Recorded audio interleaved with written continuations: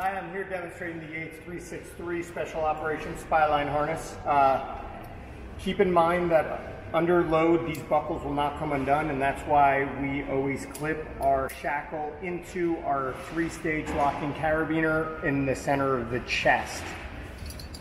Once you do that, you connect your two-stage locking carabiner to the helicopter, which gives you full retention to the helicopter should you eject. And if you need to get out of it in case of a rollover, all you have to do is pull the shackle and you release free.